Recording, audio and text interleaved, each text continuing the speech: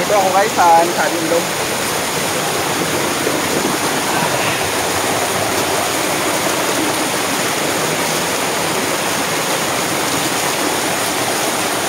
Ah! Sarap!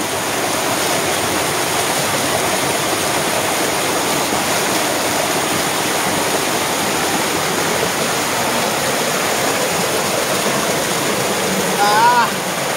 Yan guys!